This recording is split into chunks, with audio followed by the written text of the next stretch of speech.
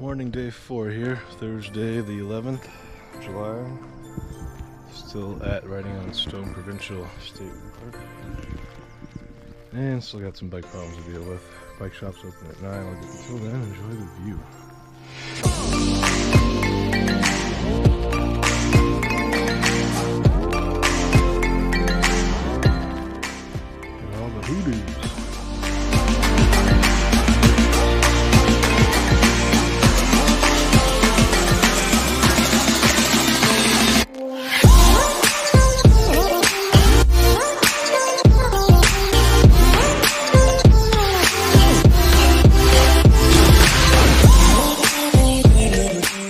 Well, it's a good thing I did not skip Glacier instead of going up to speed to get the motorcycle fixed. At least that's what I'm thinking now.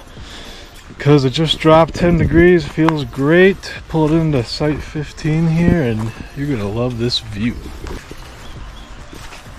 Oh, look at that water. It's running swift. So refreshing. I'm gonna jump into that right now.